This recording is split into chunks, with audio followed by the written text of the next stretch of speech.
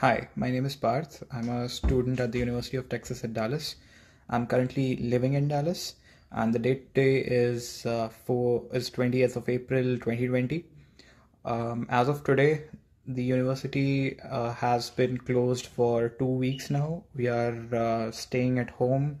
The exams are supposed to be conducted online. Classes have been moved online.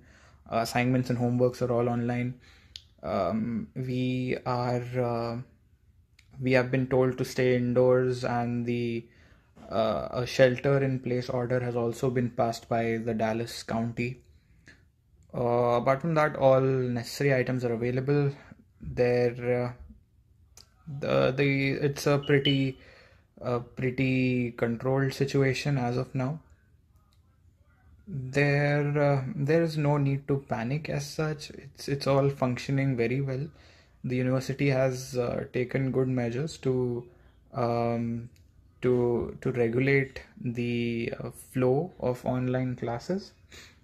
And um, yeah i hope everyone is doing okay. And um, just stay safe and all the best